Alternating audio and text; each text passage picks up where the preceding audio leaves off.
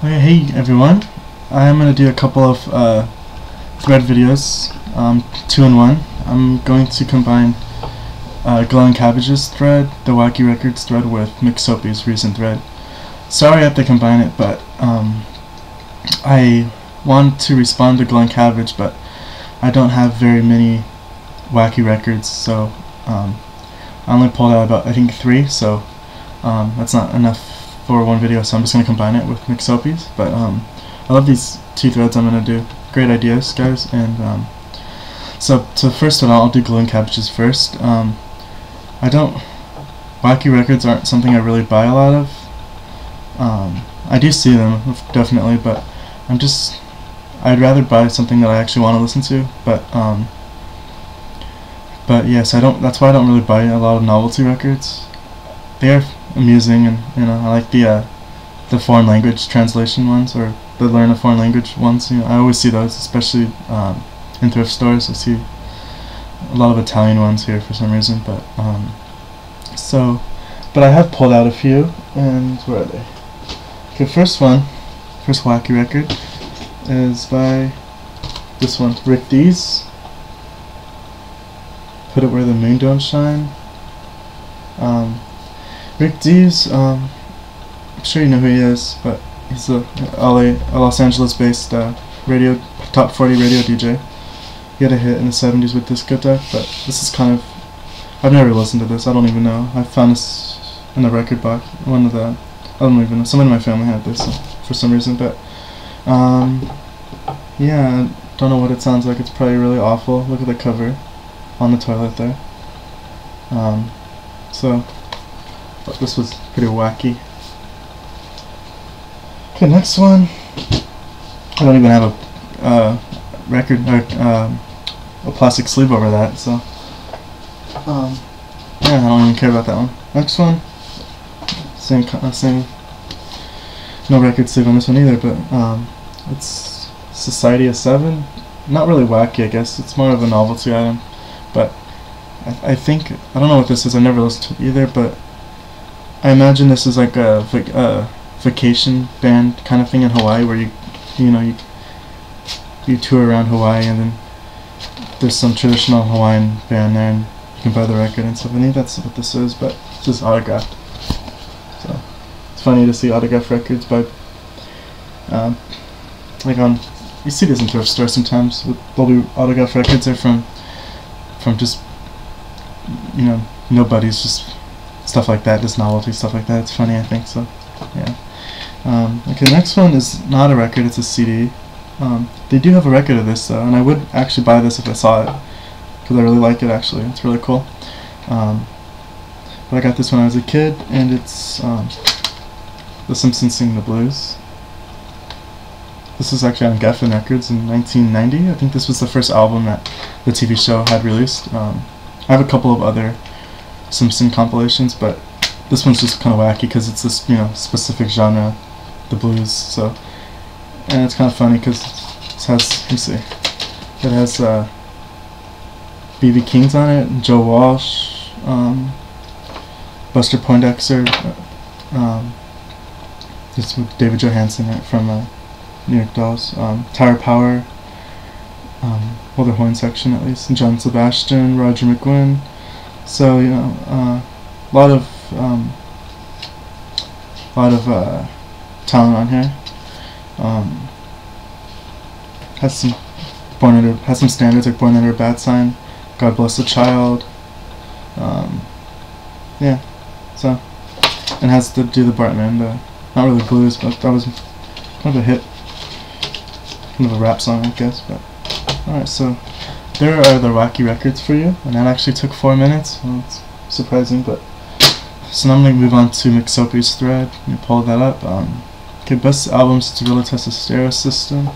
Never really done this, um, but if I would do that, because like my dad uses this CD a lot to uh, to test his the limits on the, our stereo, um, on his stereo at least, but this one, I'd probably use this one. I've shown this, this is the third time I'm going to show this, by the way, so sorry, but this record, Live Rust by Neil Young and Crazy Horse. I just think it's a good, not that, that this is a great album, but it just sounds really good loud. I've noticed. So um, that one, and then I pulled out um, any jazz record would work, but I would say this one, Maiden Voyage by Herbie Hancock. I don't know, just just like the way this one sounds a lot. So, but any jazz record would really work. But try that one especially. Um, okay, but that's not really my field. Um, stereos and stuff. I'm not really into that. You know, I don't know much about stereo systems and and things like that. So, okay. Next question: An album that you can't stand that you like. Okay. I need to explain first that growing up, up in, up until this band reunited, they were my all-time favorite band. I've definitely lost interest in them since, but I tried to follow them after the, after the reunion. But it's the Smashing Pumpkins. They just mean so much to me. I've one of the my favorite one of the first albums I ever heard when I was a kid um, in the '90s. So um, was was Siamese Dream. That's the album I heard, but I just can't stand that. I really like this record, just because I hated that they reunited so much, and uh, nobody. I mean, nobody really liked this record. I don't think. I mean, the true fans, I guess, did, but I do like this record, and um, that's the way my love is. It's a classic track already, I mean, and uh, love the heaviness of this record too. So, um, but yeah, stupid that they reunited to me, and it's even worse now since Billy Corgan's the only original member, and it's all new members. And I didn't like this lineup a lot, but now I kind of wish this lineup was back instead of the new lineup. Um, of course, I wish it was the old members, but that's not gonna happen. But um, so, an album you can't stand it, you like Zeitgeist by the Smashing Pumpkins, uh, 2007. So, um, it was fun waiting around for this to be released, so I must say. Okay. How about, uh, I have another addition to that. A band that you can't stand that you like, um, because I hate this band a lot. Like, I'm on, it's like one of those things, but because they're, they have some songs that are on my absolute hate list, um, especially their more rock or more upbeat songs, but it's the Eagles. Um, but their ballads are just excellent. Every time I hear a ballad, I'm like, why do I always say I hate the Eagles? Because their ballads are just amazing. Um, so but I don't have anything by them. But anyway, kind of off. But okay, uh, best albums to play on a Sunday morning. Okay, um, a couple. Actually, I have a few. First, if you're on a, if you're kind of on a gloomy Sunday kind of mode, um, uh, you know how Sundays can feel sometimes, looking forward to the whole week, you know. But see, this, I don't have. This was never released on vinyl, so off the hook. But it's Lows I can I could live in hope.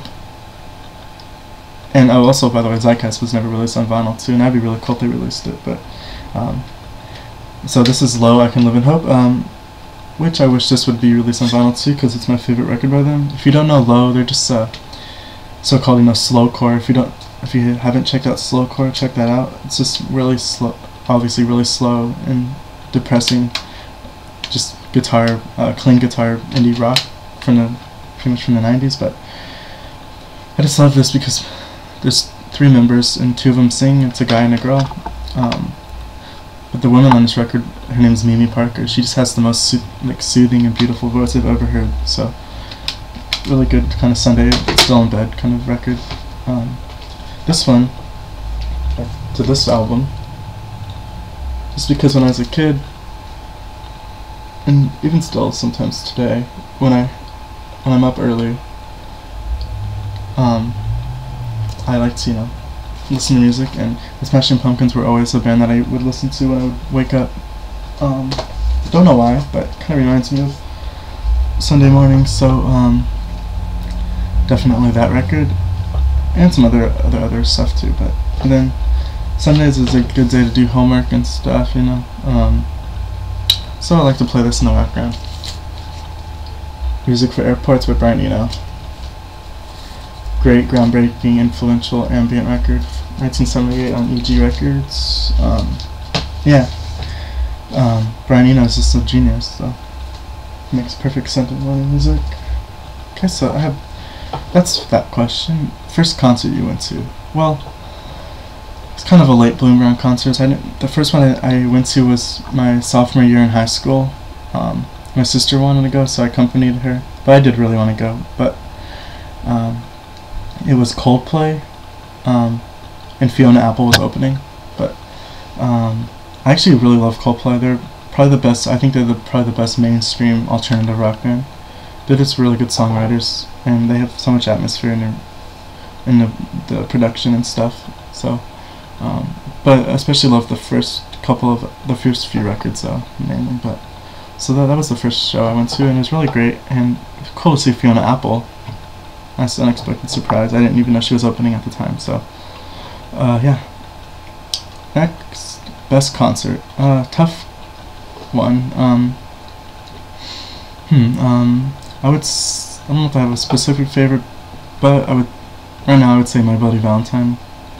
Um, probably the best reunion I've ever se- reunion show I've ever seen. It was so loud. The wall of sound went on for like you know, 25 minutes or so. It was just crazy, and I was right there in the front, and it was just everyone that attended was so nice, and everyone was just kind of talking to each other. They knew that it was just a huge, crazy event, so really fun. Um, and uh, yeah, I'm so glad I got to see that. I hope they play again so I can see them again. But um, yeah, so also I, love, I saw the Pavement and Guided by Voices reunion shows. Those were fun.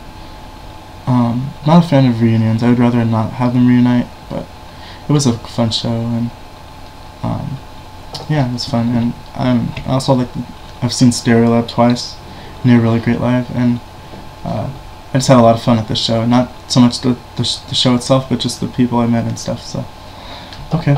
Um, but for show like music wise and stuff, I would definitely say My Bloody Valentine. Just for the noise factor, that was crazy. Okay, best live album. Uh, I'm sorry, fourth time. Forgot I was gonna show this again, but oh, live rust. Don't need to explain why. And uh, okay, I don't have many, very many live albums, but um, yeah, I need to get. There are a lot of live albums I do want to get, but I just don't really acquire them. But um, let me show you one more I forgot.